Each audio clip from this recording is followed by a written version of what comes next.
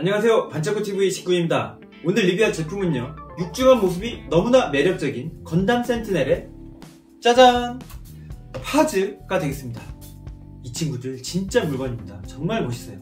한번 리뷰해서 확인해 보시죠. 자 그럼 바로 시작하겠습니다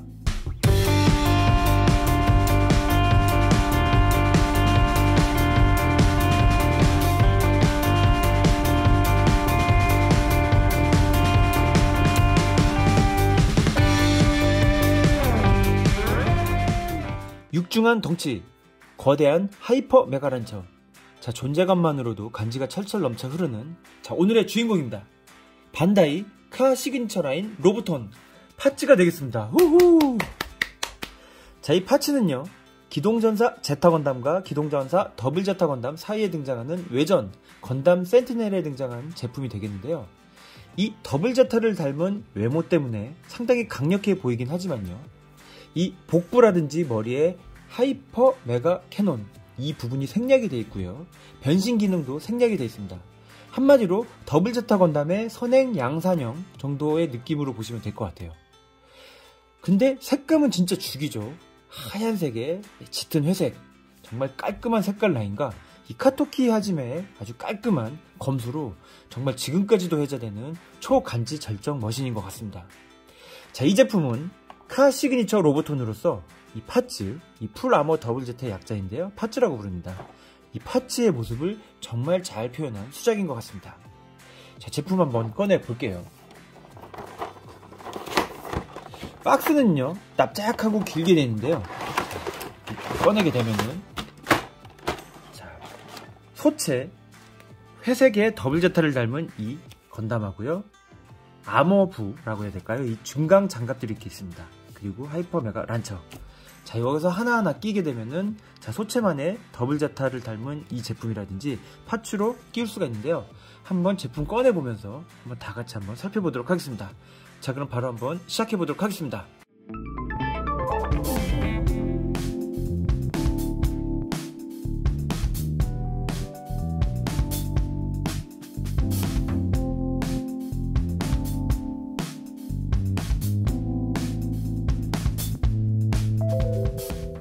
자, FAZZ의 기본 소체와 장갑들을 꺼낸 모습이 되겠습니다. 어, 상당히 분할 parts들이 많은데요. 이 제품들을 끼우게 되면 아주 멋지고 육중한 FAZZ가 된다는 게 정말 놀라운 것 같습니다. 자, mega launcher, hyper mega launcher라든지 double beam rifle이요. 굉장히 강력해 보이죠? 이 double beam rifle 같은 경우에는 오리지널의 double beam rifle하고는 생김새가 약간 다릅니다. 이 부분까지는 비슷한데요. 이 총구 부분 있죠? 이 부분이 조금 다르게 생겼어요. 자, 그리고 hyper mega launcher의 경우에도요. 어우, 상당히 육중하고 멋있죠? 특히 이 카토키 하지메, 카 시그니처 라인만의 특징이라고 할 수 있는 데칼링이 빼곡하게 되어 있는 것도 정말 매력적인 요소인 것 같습니다. 라든지 이런 백팩 같은 부분도 강화형 더블 제타 같았으면 이 부분이 굉장히 길쭉한 미사일 pod로 되어 있고요. 자, 근데 FAZZ 같은 경우에는 이 부분에 mega launcher를 끼우기 위한 자, 이렇게 조인트가 되어 있는 게 특징이 되겠습니다. 백팩 같은 경우에는요. 자, 이렇게 열게 되면은 미사일 pod가 등장을 하게 되어 있습니다. 자, 미사일 pod 같은 경우에는 가슴, 자, 그 다음에 백팩, 그리고 이 팔 쪽에 있는 이 parts, 이 부분 보이시나요? 이 파트 부분에서도 이렇게 미사일 pod 개폐 기능이 있고요. 자, 가슴팍 같은 경우에도요. 자, 이 숫자가 써있는 이 부분을 열게 되면은 자, 이렇게 미사일 pod를 볼 수가 있습니다. 하얀색, 회색, 되게 무채색이 가운데 이렇게 좀 난무한 가운데 이 빨간색 미사일 pod가 굉장히 매력적인 느낌으로 다가오는 것 같습니다. 자, 그리고 한번 소체를 볼 건데요. 카 시그니처 더블 제트하고 상당히 비슷한데요. 얼굴이 많이 다른 걸 알 수가 있습니다. 이 FAZZ하고 이 그냥 더블 제타 건담하고요. 굉장히 많이 다른 점은 물론 색깔도 있겠지만 이 얼굴 스타일 있잖아요. 이 얼굴 스타일이 아주 많이 다릅니다. 이건 지금 한번 보여드릴게요. 자 이렇게 얼굴 한번 보여드릴게요. 원래 더블 제타는 약간 좀 고릴라스러운 얼굴인데 카 시그니처에서 상당히 멋있게 각색이 되긴 했지만요.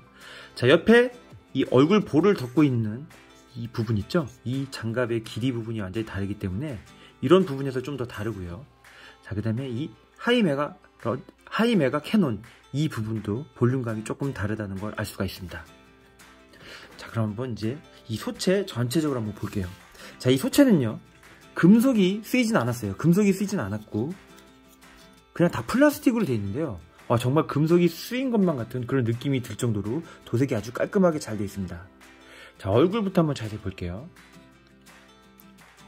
자, 카토키 아지메, 즉 버카 스타일의 이 뿔이 굉장히 길게 아주 잘 표현이 되어 있습니다. high mega cannon 가운데 보면은 이 동그라미, 이 보이시나요? 이 부분이 동그라미. 이게 우주전함 야마토에 나오는 그 파동포 있잖아요. 그걸 조금 많이 닮았다고 하는데 그렇게 또 듣고 보니까 또 닮은 것 같습니다. 자, 목 뒷부분에 있는 이 metallic parts 부분 있잖아요. 이 포인트도 상당히 좋은 것 같고요. 자, 이 얼굴 옆에도요. 이 부분 보시게 되면은 etching을 쓴 것처럼 약간 이렇게 메탈릭 도색되어 있는 게 특징인 것 같습니다. 자, 목 밑으로도요. 이렇게 메탈릭 도색되어 있어가지고 금속 같은 느낌 잘 나고요. 자, 덕트라든지 이런 요소에서 포인트에 은색 포인트 이런 부분 되게 좋은 것 같습니다. 자, 어깨라든지 이런 팔 부분 있잖아요. 보면은 데칼링도 아주 깔끔하게 잘 돼 있고요. 원래 로봇혼이라든지 카시그니처 라인 같은 경우에는 이제 어디서 만드는지 모르겠지만은 이 runner 똥 자국 같은 게 조금 많이 있거든요. 이제 그런 거 같은 경우에는 조금 케바케 제품마다 그런 끝 마무리가 조금 다른 것 같습니다. 자 옆에 이 날개 같은 경우에도요. 깔끔하게 잘 돼 있죠. 자 스커트 아머. 이 스커트 아머 같은 경우에도요. 이 강화형 더블 제타 같은 느낌으로 이 부분이 조금 튀어나오는 게 특징이고요 일반 더블제타하고 이 부분은 조금 다릅니다 어깨 이제 그 장갑이라고 해야 될까요? 그 부분도 강화형하고 일반하고 좀 다른데요. 일단 이거는 소체부터 한번 보여드리도록 할게요. 자, 그리고 이 짙은 회색 있잖아요. 이 짙은 회색. 현용 항공기 같은 색감, 약간 스텔스기 같은 이 짙은 회색이 이 기체들의 가장 큰 매력 포인트 같고요. 자, 이제 그 외적인 부분으로는 기본 더블 제타하고는 많이 닮아 있습니다. 근데 다리 같은 경우에도 이 기본 더블 제타보다는 이 부분이 좀 더 길고 뾰족하게 된게 특징이라고 볼 수가 있을 거예요. 강화형 더블제타하고 똑같은데 이제 얼굴만 다른 느낌으로 보시면 될 것 같습니다. 자 이렇게 소체 한번 전체적으로 한번 봤고요. 자 이제 기본 이 소체에서요 더블제타 스타일로 한번 꾸며 볼게요. 자 먼저 더블제타 스타일은요 이 어깨 부분 있죠. 이 부분 장갑을 먼저 한번 끼워주고요.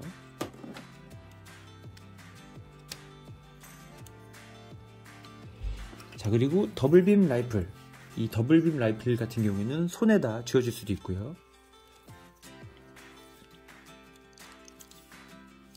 자 이렇게 방패를 원래는 이제 방패를 끼우는 이 홈에다가 이렇게 더블빔 라이플을 끼워줄 수가 있습니다.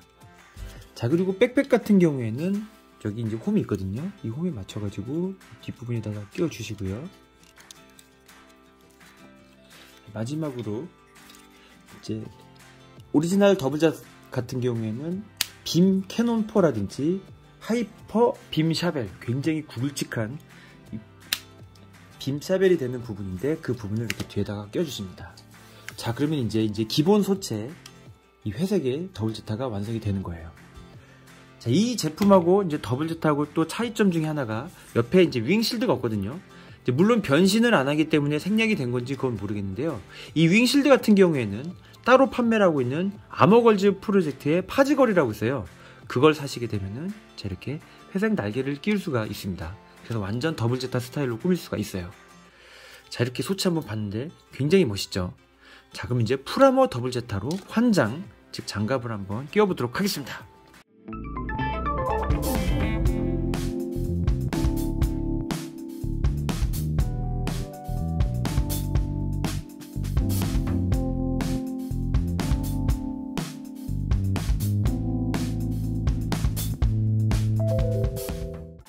기본 소체로 들어와서 자 파츠의 모든 증강 장갑들을 한번 끼워 보도록 하겠습니다. 자 먼저 소체에 있는 가슴 코크피트 부분 이 부분을 빼 주시고요. 허리 아마 있죠? 이 부분도 이렇게 빼 주십니다. 자 코크피트에 있는 이 부분 있잖아요. 이 부분은 자 이 가슴 아머 있는 이 부분 밑에다가 결합을 해 준 다음에 앞에다가 끼워 주십니다. 찰컥하고 들어가게 돼 있어요. 정확하게 들어갔죠. 자 그리고 허리 아머 이 부분도요. 이 밑에 있는 이 부분하고 결합을 시켜주신 다음에 자 앞에다가 호스는 등 뒤로 가게끔 해서 정확하게 끼워줍니다. 자 그러면은 앞에 부분 이 부분이 완성이 됐어요. 자 어깨 어깨 같은 경우에는 자 파츠가 두 개가 있는데요. 먼저 이 어깨 암호 같은 부분 있잖아요. 이 부분을 끼워주시고 자 위에 덮는 이 부분을 마감으로 끼워주십니다. 이걸 이렇게 낀 상태에서는 들어가지가 않아요. 이 부분이 걸려가지고 들어가지가 않기 때문에 자, 아머를 먼저 끼워주시고 나서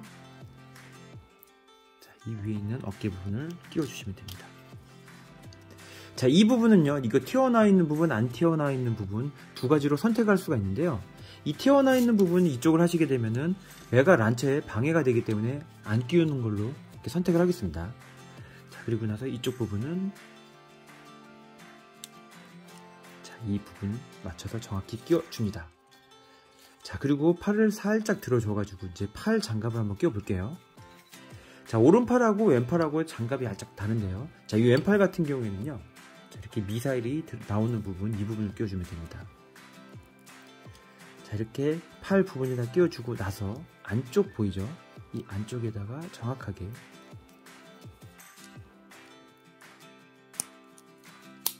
자 그럼 찰칵 소리가 나면서 정확하게 들어갑니다 자 오른쪽 부분 같은 경우에는 더블빔 라이플을 끼울 수 있게끔 자 이렇게 구멍이 나 있습니다 이 부분 맞춰 가지고 또 한쪽 팔 끼워 주시고요 안쪽 부분도 정확하게 맞춰 가지고 찰칵 끼워 줍니다 자 그리고 사이드 아머 이 날개 이쪽 옆에 보게 되면은 자 홈이 두 개가 있는데요 이 홈 옆에 두 개에다가 이 부분 정확하게 끼우시면 됩니다.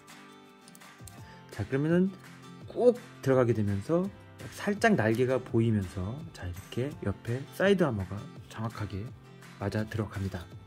반대쪽도 마찬가지. 팔 살짝 들어주고요. 정확하게 맞춰가지고 끼워줍니다.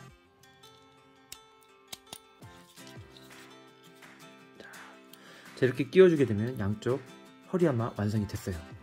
자, 그 다음에 이제 다리아마. 자, 다리아마 같은 경우에는요, 조금 독특한 방식을 하게 되는데, 자, 옆에 있는 이, 이제 분사 노즐 같은 거 있잖아요. 이 부분을 빼주고요. 자, 분사 노즐과 이 조인트가 있는 부분을 같이 넣어주게 돼 있어요. 자, 이렇게 넣어준 상태에서 여기 홈 보이시나요? 이 홈에다가 이렇게 맞춰서 끼우시고 이걸 먼저 끼우고 나서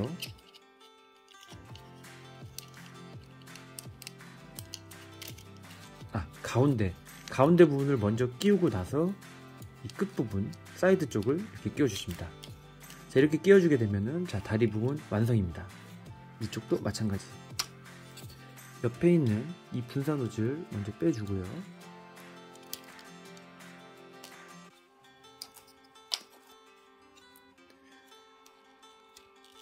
자, 조인트가 달려있는 분사 노즐을 끼워준 다음에 정면으로 홈에 맞춰서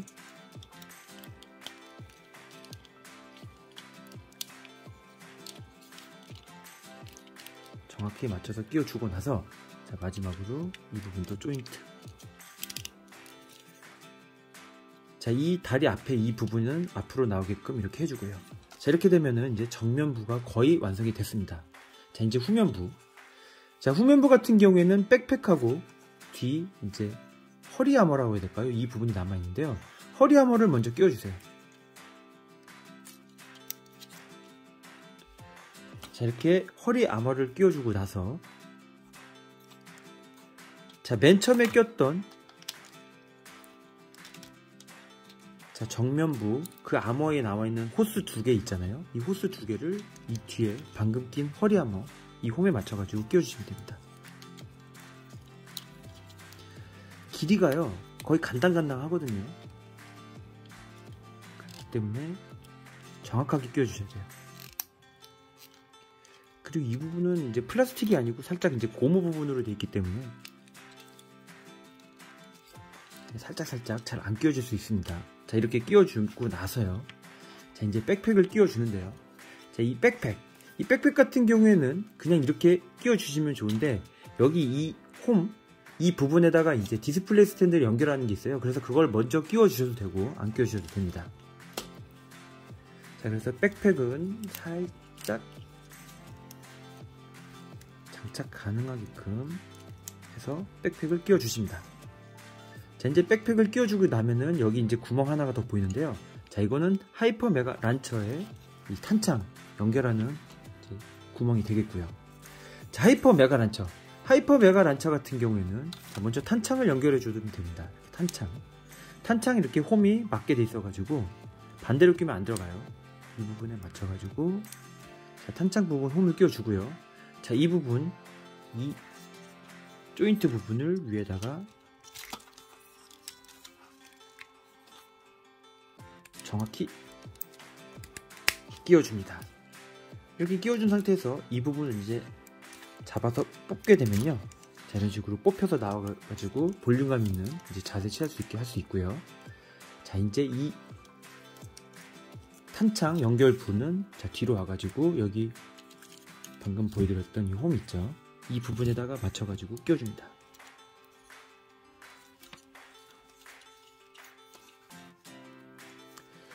자 이, 이렇게 되게 되면은 이제 거의 다 왔고요. 자 이제 이 상태에서 자, 팔 옆에 이 홈에다가 double beam rifle을 끼워줍니다. 자, 이 double beam rifle, rifle을 이제 끼워줄 때요. 약간 이 장갑하고 이 부분이 안 닿게 하는 게 좋아요. 왜냐하면 이제 하얀색이다 보니까 이런 은색 도료들이 살짝 살짝 스크래치가 나가지고 조금 색깔이 이염이 될 수가 있습니다. 이제 그 부분 살짝 조심하시면 되고요. 자, 기본적으로 full armor double Zeta의 환장, 즉 장갑 장착이 완료가 된 모습이 되겠습니다. 휴. 방금 기본 소체 모습하고 이 모습이 이제 비교가 되시나요? 자, 이제 이 부분에다가 이제 손잡이를 이제 꺼낼 수가 있어요. mega launcher 같은 경우 손잡이를 꺼내 가지고 손으로 잡는 모습을 취할 수도 있는데요. 뭐 꼭 그렇게 안 하고 안정적으로 하실 거면은 자, 이런 식으로 딱 장착을 하시면 됩니다. 자, 장착이 완성이 된 모습입니다. 자, 정면의 모습. 자, 옆면. 자, 뒷면 빡세죠? 뒷면의 모습. 자, 옆면의 모습이 되겠습니다. 이거는요, 이 부분을 이제 좀 내려가지고, 자, 이렇게 이 부분이 살짝 위로 올릴 수도 있고, 이런 식으로 내리는 방식으로 두 가지로 이렇게 취할 수가 있어요. 자, 이제 내리게 되면은 이제 백팩의 높이가 같아지겠죠. 자, 이렇게 장갑을 다 끼우게 되면요, 어우, 굉장히 완벽한 이 파츠의 모습이 완성이 됩니다. 야, 기가 막힙니다. 진짜 멋있죠? 자, 넘버 4라고 여기 써있는 이 가슴팍, 이 부분에 이제 숫자도 굉장히 이쁜데요. 이 파츠 같은 경우는 이제 세대가 기본으로 되어 있는 일개 소대가 되는데요. 4호기, 그리고 5호기, 6호기, 이렇게 존재를 합니다.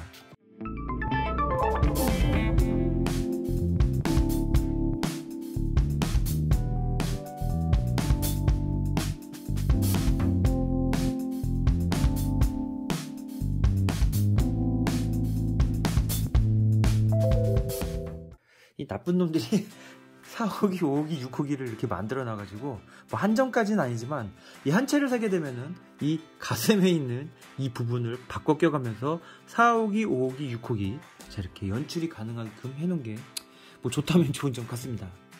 자 그리고 이제 이 6호기 한번 쫙 보여드릴게요. 자 이거 같은 경우에는 하이메가 란처를 손으로 직접 들고 있는 모습이 되겠거든요. 자 이렇게 손으로 들고 있는 모습인데 보기보다 조금 안 이쁘더라고요.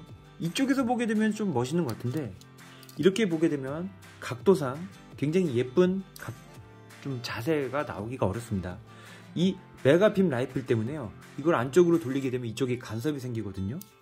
그래서 이 정도의 모습이 거의 그냥 최대치인 것 같아요. 그래서 꼭 이 hyper mega launcher를 손으로 트리거를 꼭 잡아줄 필요는 없는 것 같습니다. 자, 이 FAZZ 일개 소대 정말 멋있죠. 근데 얘네가 되게 멋있는 이유 중에 하나가 사실 이 double Zeta 만화를 먼저 접한 우리들로서는 이 double Zeta가 그때 당시 최강의 건담 중에 하나였잖아요.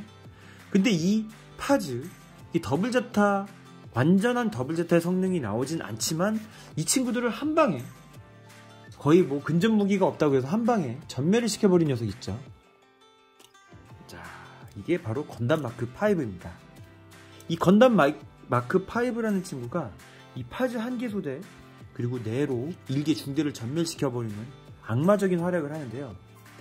double Zeta를 뭐 성능이 다 나온다고는 다 나오진 않지만 그래도 그 친구를 닮은 이 FAZZ를 전멸시켰기 때문에 이 건담 마크 5의 활약상이라든지 그런 악마적인 간지 그게 조금 더 좀 강조가 됐었던 것 같아요. 자 그리고 이제 이 로보톤 그냥 더블자타하고 한번 비교를 해볼게요. 자 얼굴 빼고 요소요소 강화형 파츠 몇 가지를 빼게 되면은 거의 비슷한 느낌으로 만들어졌다는 걸 알 수가 있습니다. 그죠? 자 그리고 그냥 full armor double Zeta. 이제 이건 이제 오리지널 스타일이 되겠는데요. 이건 이제 그냥 로봇혼이에요. 카signature는 아니고 그냥 로봇혼인데 자, 머리 하나 차이가 있죠. 그냥 로봇혼 같은 경우에는 자, 이 full armor double Zeta라고 하더라도 크기가 좀 다릅니다. 그리고 이제 이 어깨 cannon이라고 해야 될까? 이 부분은 조금 닮은 것 같아요, 크기가. 하지만 이 기본 소체가 더 작기 때문에 처음에는 이 로보톤 이거하고 이거하고 좀 멀리서 보면은 좀 비슷할 거다라고 생각했던 게 조금 오산이 되겠고요. 특히 다리 길이 때문에 그런 것 같아요. 이 다리만 조금 길게 되면은 그래도 뭐 로봇 하고 이 볼륨감이 닮을 수 있었는데 그 부분 조금 아쉬운 것 같습니다. 이 부분 조금 아쉬운 것 같아요.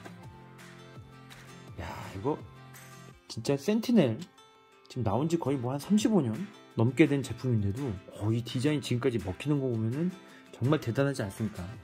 자, 센티넬에는 이제 1호기부터 다양한 숫자가 있는데 1호기가 S 건담 혹은 EX-S, EX-S 건담이 되겠고요. 2호기하고 3호기는 Zeta Plus. 그리고 4, 5, 6은 FAZZ. 자, 이제 7호기부터 네로, 이제 네로 중대가 되겠는데요.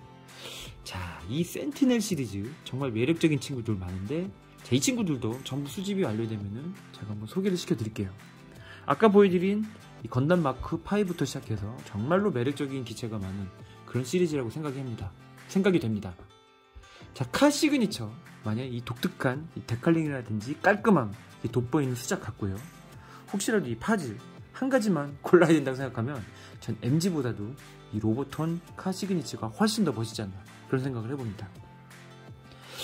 이 프라모델 다음에는 이제 완성품으로 넘어간다고들 하는데 확실히 완성품 정말 끝내주고요.